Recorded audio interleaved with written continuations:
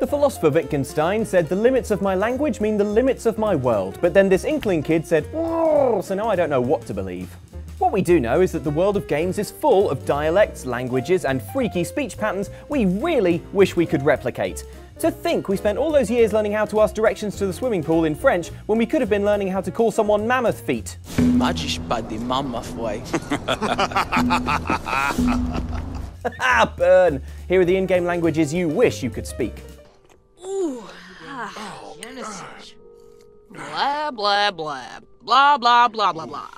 There's only so many conversations about the weather that an all powerful god can handle. So, to prevent players from having to listen to hours of tedious small talk, and to prevent themselves from having to record thousands of lines of dialogue in multiple languages, the makers of The Sims created a whole new language called Simlish. To a speaker of a real language, Simlish sounds like remixed versions of actual words with lots of burbling nonsense. Frost. Galpa Fateb. Denopa Campe. Basically, how you feel like you're speaking when you're talking to someone you've had a crush on for ages.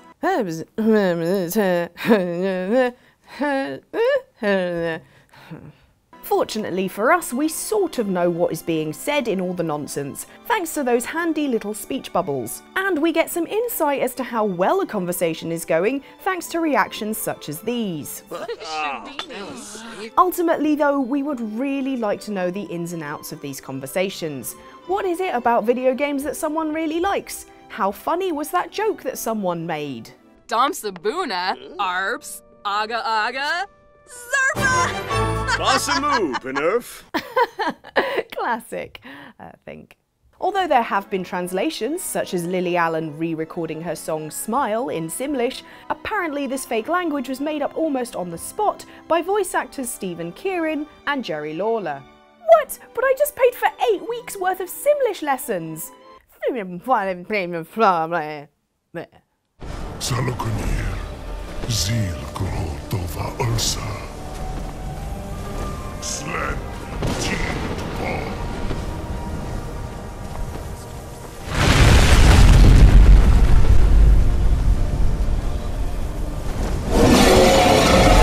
The region of Skyrim is famously chatty. Where else will citizens just wander up to you in the street to let you know what's going on in their lives? I once killed six men single-handed while rescuing my brothers in arms from ambush by an Imperial patrol. Cheers, buddy, I'll bear that in mind. But it's no wonder that the residents of Skyrim have so much to say when you consider the rich melting pot of languages that can be found here. For instance, there's Ta'agra, the native tongue of the Khajiit, We are creatures of the desert. The north wind chills us to the bones. or Jel, the language of the Scaly Argonians, which, fun fact, has no past or future tense, so good luck organising a cinema trip with this individual. You have questions? But of all the dialects at hand, the one you definitely want to get a textbook on is Dovahzul, also known as dragon language because of the way that it's spoken by, well, dragons. Full side. Su'ur. Korar Nir no Dove to hide. And who wouldn't want to speak to dragons? Get their ancient wisdom on the best livestock to steal? Not really sure what dragons do now that I think about it.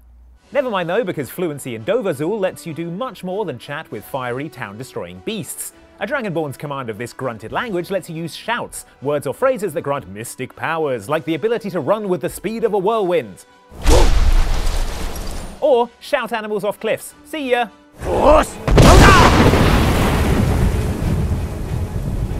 Yes, Dovahzul is a very loud language, incorporating more incoherent shouting than an English stag party in Magaluf trying to order fish and chips at 3 in the morning. But for all the angry bellowing, it's also weirdly poetic. Consider, for instance, that Skyrim's theme song is sung in the dragon language.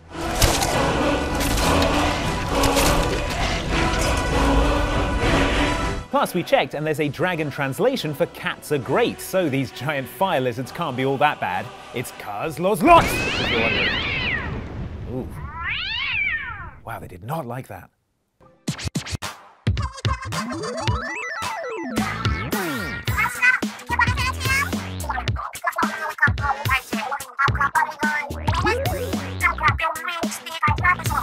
Kids are always coming up with new twists on language. How else would we get phrases like turnt, yas, and I can't even with you right now, which I'm told really do mean something.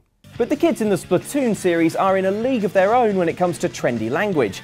Known as Inklings, these fashion forward young creatures can transform at will into squids and have a gurgly dialect to match.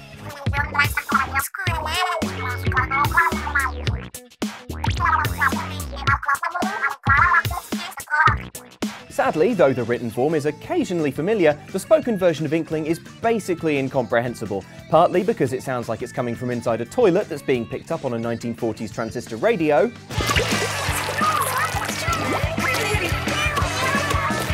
And partly because Inkling is total nonsense, so it doesn't matter how much water you gargle, you'll never learn to speak it. No, I'm sorry, that didn't mean anything. While we've no more hope of speaking Inkling than a squid has of playing piano, it's still one of our favourite game dialects, being way more fun to listen to than other fictional languages. I mean, could Klingon handle a rap breakdown of this magnitude? And the Inklings themselves are so gosh darn trendy with their neon hats and cool trainers that if you want to stay relevant in the far future, it's got to be worth at least trying to understand them, right? Maybe they speak emoji or something. Squid emoji, thumbs up emoji. Now, can I be in your pop band or what? Oh, That means no. Waita Walshnar. Walshnar. ah, Dinsai Hassan. Balsayulikala. Hart. Nasa. Tigri. Luguamta. Mu Salwa Padawaida. Uhaita. Tinsai. The Far Cry series has traditionally been set in the here and now, allowing for modern conveniences such as the English language and automatic weapons. However, when the makers of Far Cry decided to take their series back in time, closer to the dawn of man than the dawn of technology, they didn't just have to worry about how to replace all the guns with an owl.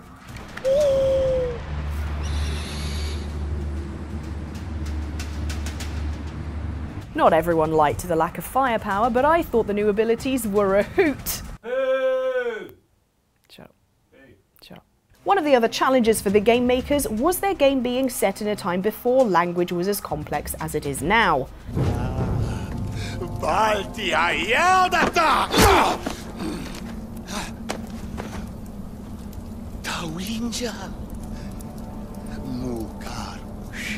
To avoid the immersion breaking use of modern languages, the developers instead decided to design an entirely new ancient language based on the reconstructed Proto Indo European language with different dialects for the three tribes of Wenja, Udam, and Izila. Wool. Hers. Udam. Salwa Tija. Uala. Winja Waida. Tuhai Padas Shwan. Core Ubisoft, when'd you find the time to do all that? Ellen! I have a sickness. To show that they weren't messing about with this, the developers even constructed the Easy Wenja phrasebook to help players understand certain lines without the need for subtitles. It included a phonetic guide, a brief introduction to Wenja grammar and syntax, and a collection of words and phrases that they would come across in the game. All the things we'd need to actually learn the language, which we won't. Which makes us feel crappy, which means body or flesh in Wenja. Hey, we learned something! Oh. Drumcar.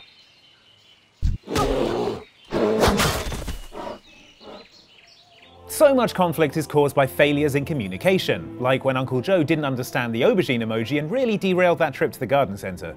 But that's got nothing on the bitter conflict between the Horde and the Alliance in the Warcraft series, who have warred for generations ever since the Orcish Horde invaded the land of Azeroth without making it clear in advance that they'd been twisted and misled by the nefarious Burning Legion.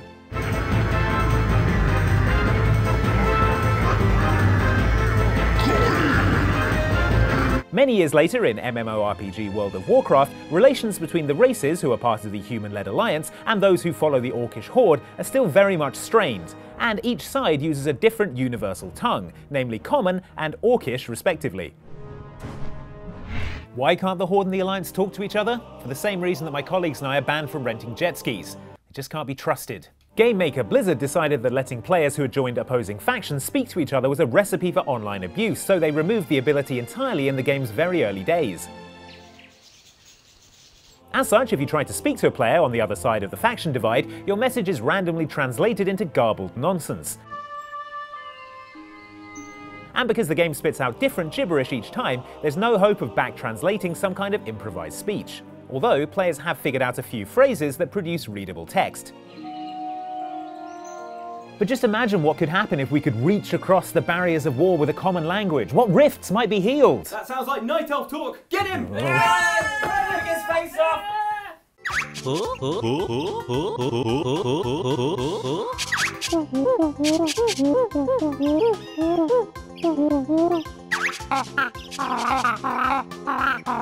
You know you've made a true friend when you can go up to them, make incoherent noises, and they know exactly what you mean. Oh, Luke, I know, I know. I wish there were more porgs in Star Wars as well. I was choking to death. I know, it's okay. porgs. Much like us, Spiral Mountain residents Banjo and Kazooie know each other very well, so you can understand them understanding each other despite the fact that they only speak in single noises. However, the problem is they then have to embark on a sibling saving adventure, chatting to all sorts of characters who all make their own unique noise. Do this dynamic duo have to learn a new language each time they meet a new person? If so, that's pretty impressive. Although, the good thing about each of these languages is that you only need to learn one noise to learn an entirely new language, unlike French, which is like 40 words. And it's my theory that there is a secret third hero who accompanies them on adventures, translating for them on the fly, subtitling their every conversation and helping them save the day.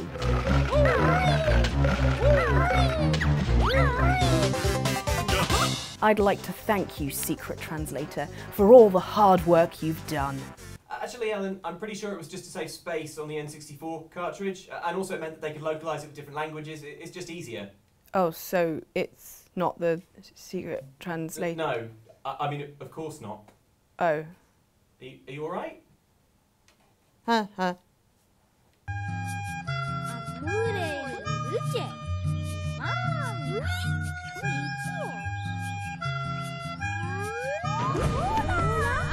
Music is its own kind of language, with its own punctuation, sentence structure, and even swearing. But if that's true, then Loco Rocos, the bouncing eponymous heroes of the Loco Roco series of games, are doubling up linguistically by singing in their own language the whole time you're playing.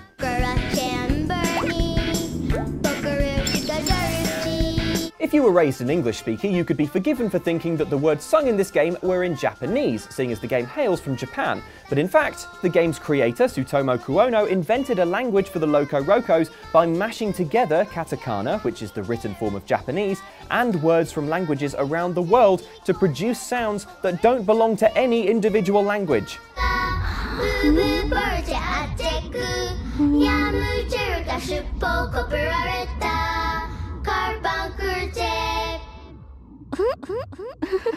When layered over a lethally catchy tune, the effect is really weird. You'll probably get snatches of what sound like a few words here and there as your brain tries to make sense of what it's hearing.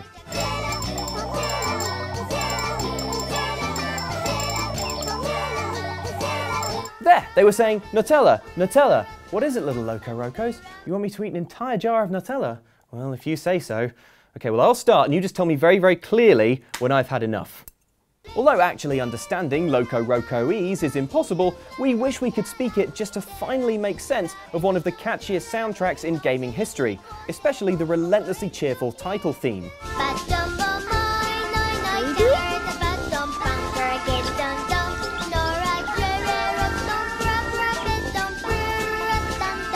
Sadly, the nonsense lyrics mean this gibberish ditty just sticks in your head all the more, until, inevitably, you find yourself starting to talk to the tune. Oh no, it's happening now to me. This is going to be hard to stop. I'm panicking. Please, I don't want this help. So there are some of the gaming languages we wish we'd learnt at school instead of French. I mean, I didn't even learn the word for rabbit, and you'd think I'd be lapin that up. Uh, uh, Andy can't even boo, he's just like head in hands. Uh, but can you think of any other languages that you've come across in games that you think, oh, I wish that's a cool language. I wish I'd, you know, be able to speak that fluently. It'd be really useful. Let us know in the comments down below. Don't forget to like and subscribe. And also, you should check out these videos here. These magical videos. You should watch them all. I don't know why I'm singing. This is about languages. Uh, but one thing that is a universal language is the subscribe orb.